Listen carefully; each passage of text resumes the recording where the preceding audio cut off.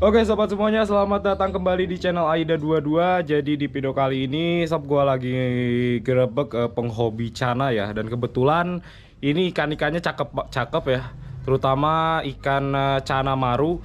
Kualitasnya pokoknya edan semua. Jadi kita langsung aja kita akan samperin dari uh, owner yang punya koleksian di belakang sana tuh sob Nanti dan uh, kita juga akan ini ya Akan uh, update eh, dari pemilik ikan cana ini kan lagi treatment ikan cana maru di kolam. Itu pemeliharaan selama 8 bulan ya. Makanya nanti sehabis dari sini gua akan lanjut ke eh, apa ke kolam ya. Ke kolam untuk nguras semua kolam nanti kita akan lihat hasil progresannya pemeliharaan selama 8 bulan yaitu ikan cana maru yellow centarum nanti kita akan lihat jadi pantengin terus video ini sampai habis. Langsung aja kita akan uh, kenalin dulu ya. Owner dari yang punya cana maru ini sob. Enggak nah ini dia nih sob. Ini uh, buat kalian pasti udah nggak asing lagi ya. Udah ada di video sebelumnya ya Kang ya Ya. Bersama siapa nih namanya? Dimas ah. Kang Dimas dan ini juga ada rekan-rekan di sebelah sini. Namanya siapa? Rian Om. Kang Rian. Yang ini? Albi. Kang Albi. Oh, Pak Ketu. ini Pak Ketu. sob. Oke, Kang Dimas, eh, dulu kan saya pernah sempat main ke sini ya. Eh, dulu itu ada cana maru yang yang gede ya. Ya om. Nah, sekarang itu ada progresan ikan apa lagi nih di sini? Paling maru-maru yang kecil om ukuran ukuran 20 bawah. lah. 20 cm ke bawah ya. Oke, bisa dibantu ya untuk ngejelasin satu persatu Boleh, ikan yang ada di sini. Nah, ini sob nih. Jadi ini eh, masuknya ini pemeliharaan semi outdoor ya? Iya. Semi outdoor. Jadi kalau matahari ini kesorotnya jam Sore. berapa nih? Sore paling sekitaran jam 3 lewat. Oh, sore ya, jam 3 lah sob. 3 sore. Jadi matahari masuk ke tank yang di sebelah sini. Jadi langsung aja kita akan review satu persatu nih. Di sebelah ujung dulu ini cakep-cakep nih sob. Cuma kita akan lihat dulu yang di sebelah sini nih. Nah ini Kang Dimas, ini ada cana apa nih? Cakep nih. Yang di pojokan sebelah sini. GS om biasa. Yellow Centarum ya, Iya. cana maru Yellow Centarum nih sob. Lihat tuh, cabungnya. Ini saja berapa nih? Berapa senti? 15-an om. 15 cm ya? Mm-mm. Ini cana maru Yellow Centarum dengan size 15 cm nih sob. Widih galak. Ini buat kalian tuh. eh kelihatan banget ya. Jadi si cabung dari cana maru ini udah rim warna putihnya udah nampak sekali dan barnya juga cakep-cakep tuh. Ini pemeliharaan semi outdoor. Tapi ini semuanya nggak menggunakan filter ya atau Enggak, pompa Om. air. Enggak, gitu Jadi aja. heater aja cuman. Oh heater ya, heater on terus 24 jam. On. Jadi semua ikan yang eh, pemeliharaan semi outdoor ini di heater semua ya, pakai heater. Harus.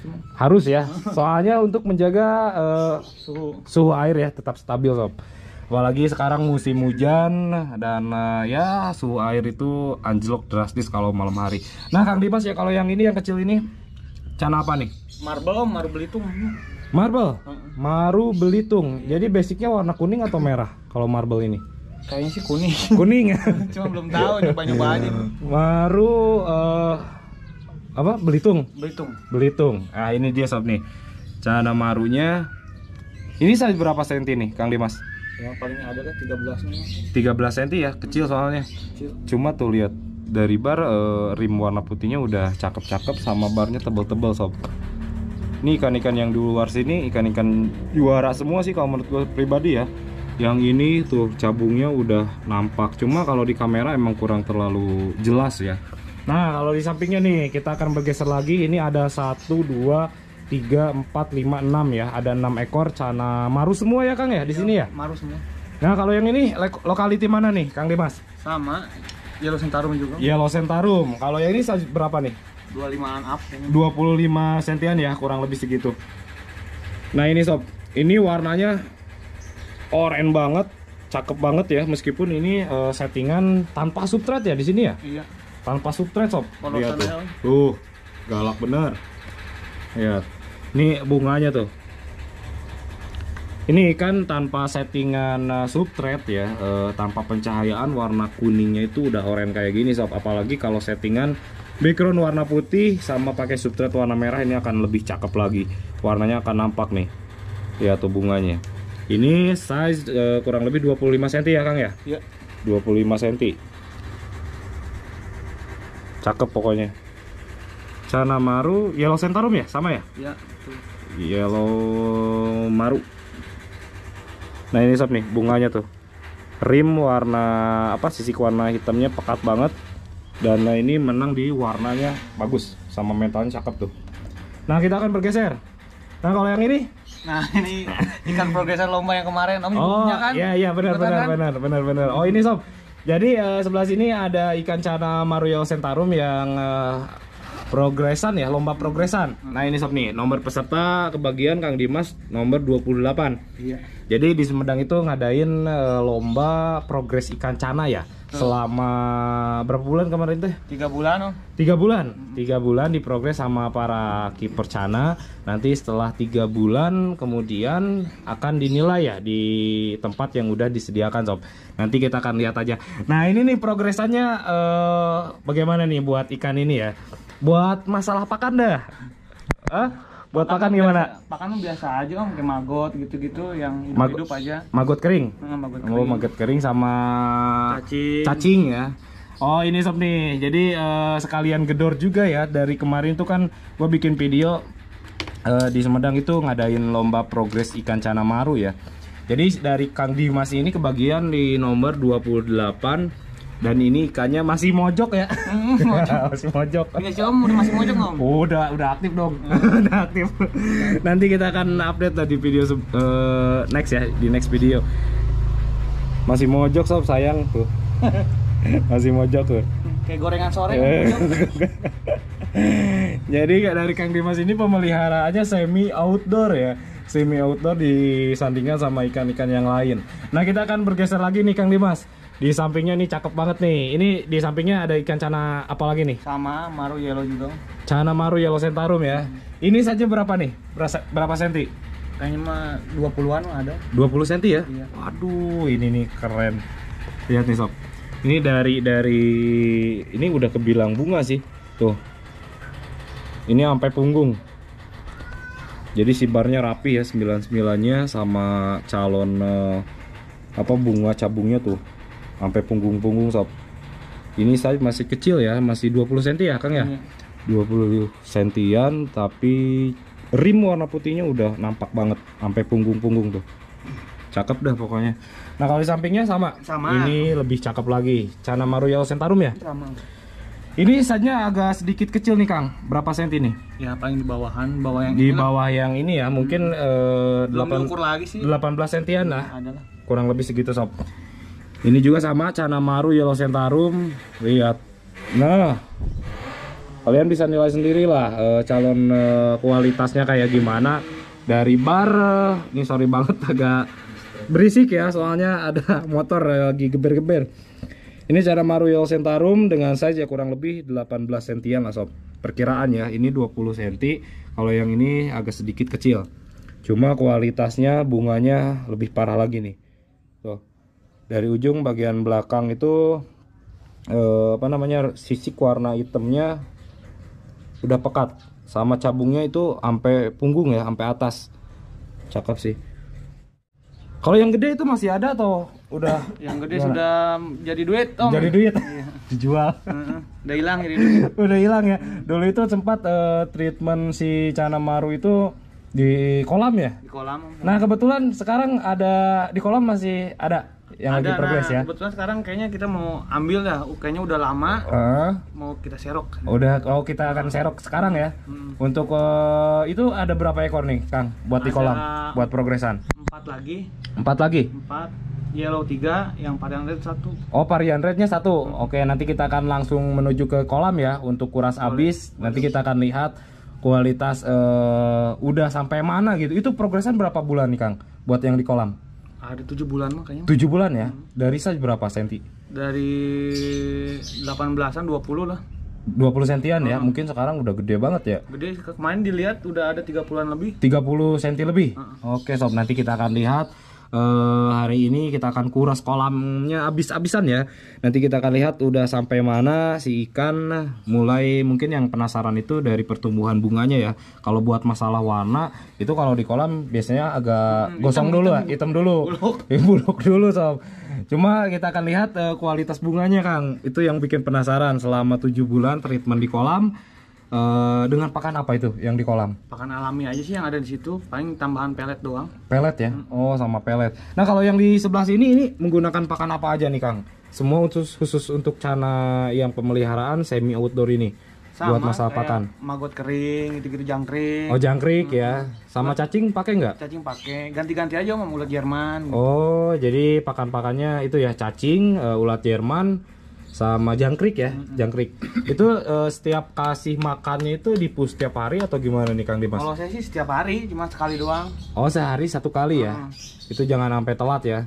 Jadi dalam eh, pemeliharaan cana maru yang semi outdoor ini sob buat pakannya itu satu hari satu kali ya menggunakan jadi nggak nentu pakannya ya beda-beda. Ada juga menggunakan cacing, eh, maggot juga dan pakan-pakan kering yang lainnya. Kalau yang di dalam masih ada nggak belum? Di dalam paling kayak ikan Kang. biasa aja om. Di dalam. Tunggu ya Kang ya. ini ini tim serok nih nanti nanti dibantu sama Kang Albi sama Kang Rian juga ya untuk eh, apa nyerok ikan-ikan yang ada di kolam. Nah kalau dulu ini Kang di sebelah sini ya, yang cana maru yang gede ya. Ah, yang gede. Dulu di sini sob Ah, Sekarang jadi tengah angker om. angker. Angker nggak ada isinya. Gak ada penghuninya.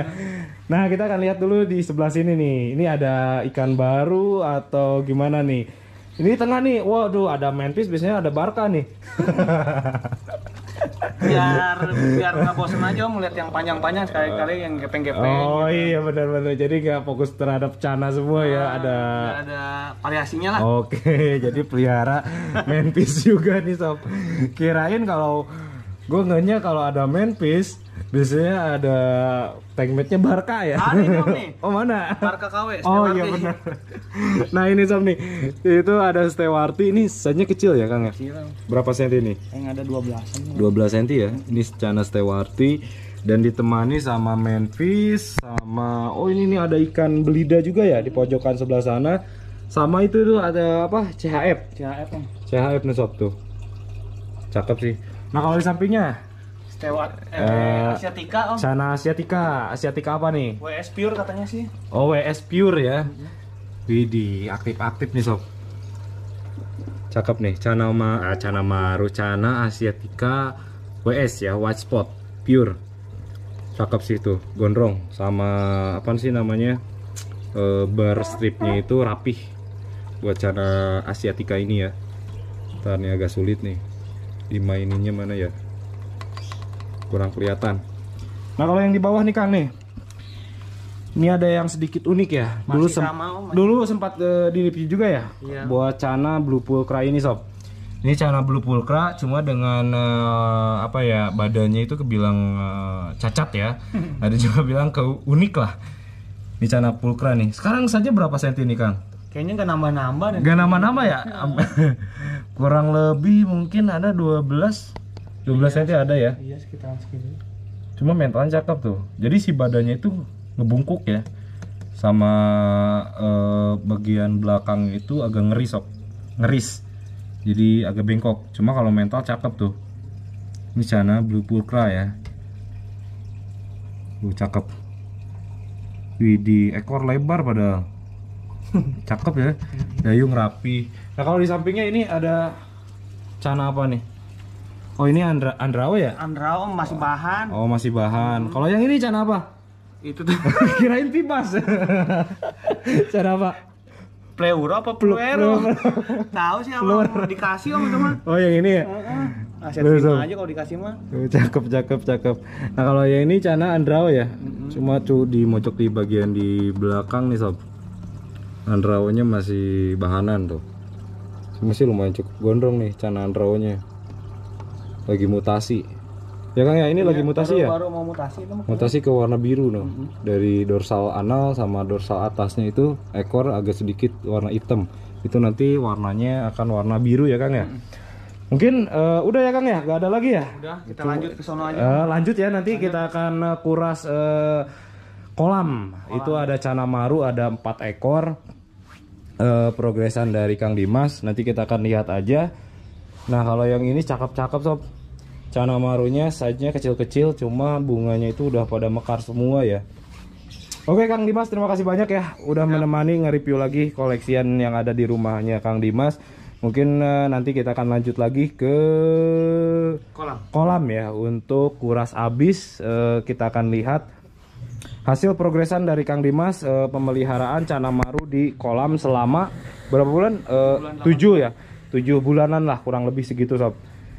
Nanti kita akan lihat aja langsung ke sana sob. Jadi pantengin terus video ini sampai habis dan sampai berjumpa di next video selanjutnya.